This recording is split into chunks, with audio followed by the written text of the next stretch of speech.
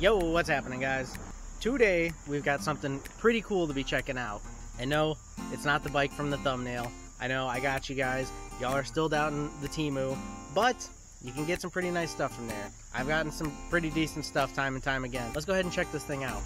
So what we've got right here is the Vic Trip J Anus, straight off of Temu. Uh, when I saw it, I was actually kind of surprised. I was in the market for an e-bike. I was looking around, and then all of a sudden they popped up on Temu for like really good prices, ridiculous prices. I looked into the actual site, Victrip, the actual company, and they make legit bikes. So I was like, you know what? Why not? And so for 700 bucks, which is like half the price of what this would be going from the actual manufacturer, I got this super sweet bike. So we're gonna do a couple of shots of like riding it and stuff. We're gonna see how fast it can actually go, which I'll tell you is pretty fast.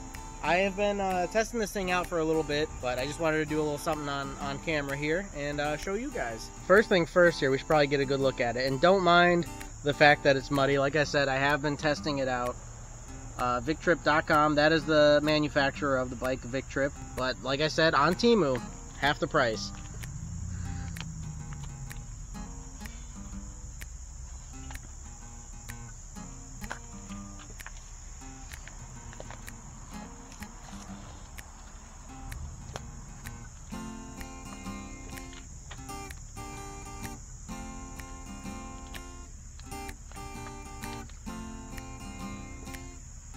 Alright, so right off of Temu, what it says about this bike is electric bike for adults, 20.8 amp hour removable battery, folding e-bike with 750 watt motor, 75 plus mile long range, 4 to 6 hour fast charging, 7 speed, 20 by 4 fat tire electric horn class 2 e-bike. Does not have electric horn. So that was a lie. it's just got a bell. But everything else, true. I haven't actually tested out like the long range. Like I'd like to be able to go take it on a trip and see if I can make it 75 miles. Maybe another video if you guys like this one a bunch. That would be dope. But it does have two batteries. Uh, I've been able to remove one. The other one, I can't figure out how the frig to get it out. It's kind of a pain in the butt to remove them, but you can take them out and then actually charge them, which is super nice. And I mean, I, once I got it fully charged, I've been riding this thing around like crazy and it's still going. So uh, it does weigh 80 pounds. It folds in half. It's actually a lot bigger than what I was expecting. I was trying to get something kind of small so I could stick it like under the bed in my van. This thing does not fit. It's huge. so I'm actually going to have to have a hitch put on and uh, get a bike rack for the back. But uh, the thing is sweet and I'm pretty glad that I got it. And another lie on here, I'm pretty sure it said it would go 20 mile an hour and I've tested this thing out and it definitely goes over 20 mile an hour. It'll get up to like 30 mile an hour probably 30 over 30 so that i mean that's a i don't know should you be mad about that? It's like they said 20 and i was expecting 20 and i can go faster. I, I don't really know. It's like if i want i can go slower on it. I can turn the speed down and go 20 but well anyways let's go ahead and fire it up. So this thing came with uh, four keys. And so what you do you got a little keyhole here down where the battery is. I'll show you real quick how to remove this battery. The one that you get from See, it folds in half here. The one battery is inside here. And uh, there's a keyhole in the bottom. And so, like, you're supposed to be able to use the key to disengage it and pull this battery out. I haven't been able to do that. But as for this battery, what you do, you push in on the key, and then you go backwards like that. Then uh, you take the key out, and the battery comes right out. So then you can plug that in, you can just charge right into the battery. The seat uh, folds up also, so that way you can get at it. There's the seat folded down. Just got a little lever back here. There's a rail there that the battery slides onto. Then it just goes and slides right back on in. And you can uh, lock it back in like that. And now to turn it on, bam, it's on. So you can check this battery. I don't know if you'll be able to see that. Okay, there you go yeah, if you press this button, you can see it says full. But also, you're to have a display up here. So when you come up here, you got to hold this button for a couple seconds. Turns on, goes through its whole little doohicker thing here. Bam. And uh, yeah, you can see the full battery right there. So the display here shows you zero PAS. That's pedal assist. And what you want to do, you click that up. And so you got one through five on the pedal assist, five being the fastest. Or you can go back down to zero. So you can just ride this like a normal bike if you want. It's got seven gears, regular old gear shifter over here, and your fancy little bell. It's actually got disc brakes, which is kind of wild. I mean, I guess when you're going that fast, you kind of need something a little better than those wheel brakes. But I had a problem with the front brake from the get-go. It's got these little clips on it. I don't know if you'll even be able to see it. It's got these little clips on it that hold them apart. The clip was bent, so the inside brake was constantly hitting. And eventually it ended up just coming right out. And so uh, I had to order new brakes, which was not bad. They were only like 15 bucks for a set of four, so not too shabby. There's another good old view of the bike. It's it's a pretty big sucker, like I said. I mean, it's it's kind of wild. Got a rack on the back with uh, what looks like mounting for a basket. I think I'm actually going to get front and back basket for it, so that way like I can carry stuff. That's always kind of handy. Enough dilly-dallying. Let's ride this freaking bike. All right, so I've got the uh, head-mounted camera here. Hopefully I'll be able to catch something good. but we'll see how this works out. Let's go. Let's go. Here we are on zero pedal assist.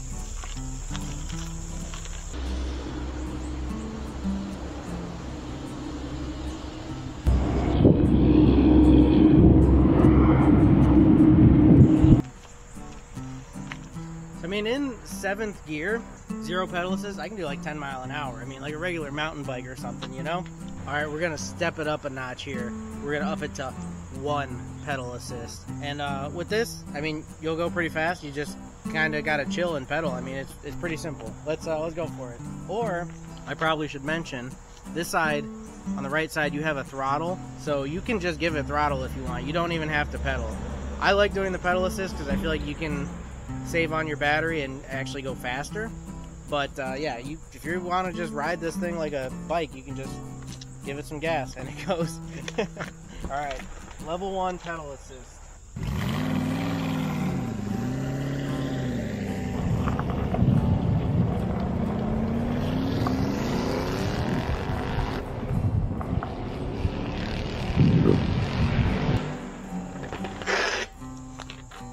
Go, stepping it up another notch. Level 2.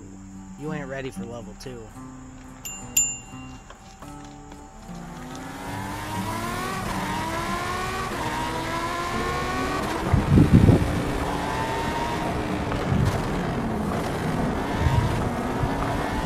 Alright, to be honest with you, we're kind of going, at this point, too fast for this space that I've got. I was hitting like 13 mile an hour and there's still more to go. So uh, even on level two, we're I mean this is a pretty big parking lot that I'm at, and we're hitting like our our peak at level two. So we might have to move locations, honestly. Uh, find a spot where I can hit my max for the next couple levels. Alrighty, so for the moment, what we're gonna do, we're gonna take off on the bike. I'm abandoning the van for the moment. Sorry, van, you'll just have to wait here. And uh, we're gonna set out on the road and we're gonna get to a spot where I can actually test out the speed. So I don't know how the filming is gonna go from here, because I'm gonna have to abandon my tripod. I'm basically just gonna take what I can carry in my pockets. and the tripod is definitely too big for that. That's why I need baskets for this unit. Uh, but anyways, that's like kind of the point. Like say I'm parked somewhere with the van and I don't wanna undo everything, like take the awning down and unset up camp to head out somewhere. Hop on the bike, 30 mile an hour, 75 mile range, I can go to places and then uh, just ride on back to the van. Let's go. This will be cool. We're gonna actually get some some road some road time.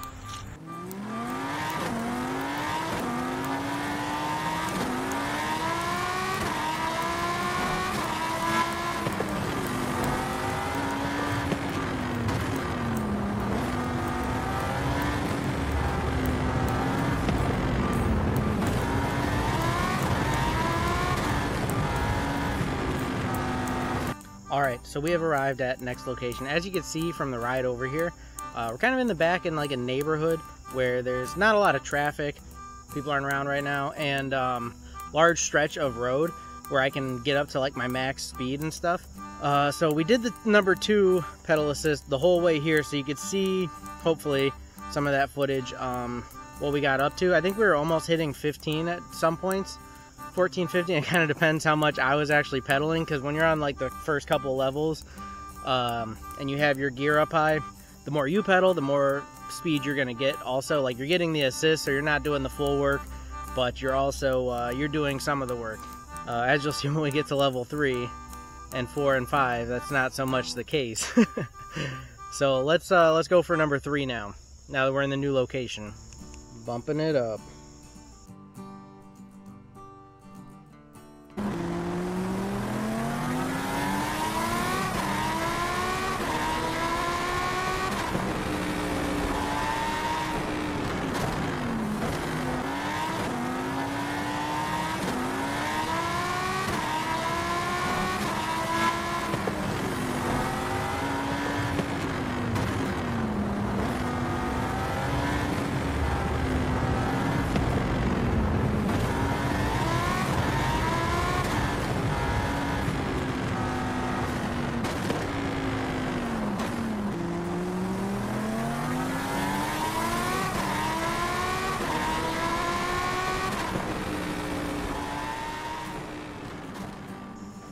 Alright, so as you can see on level 3, well, I don't know if you actually can see, but we're hitting like 20 mile an hour, and at level 3, your pedaling isn't really doing a whole lot. Like level 1 and 2, you can actually feel that you're pedaling and you're kind of adding to the speed.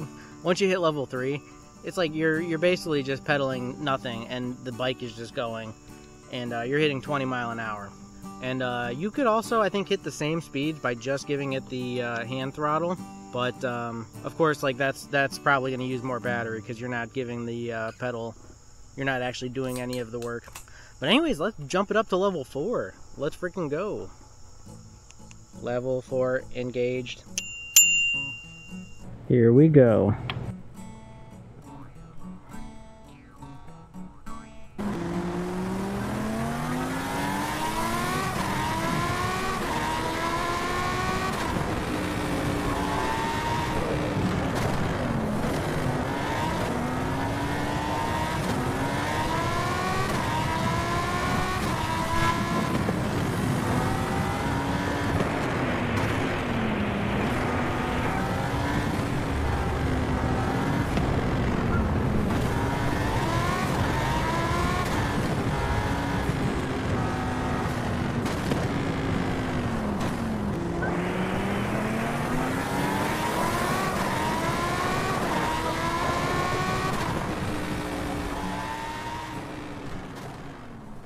there you have it, only on level 4.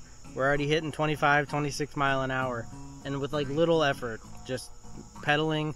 Your pedaling is like basically like um, if you were on a bike at the gym and just had it on like zero resistance and you were just pedaling. It's like it's like that honestly. And like I said, you could just give it gas and go too. You don't even have to do the pedaling. But anyways, we're gonna kick it up to warp speed. We're jumping up to level five. Let's freaking go. Warp speed engaged.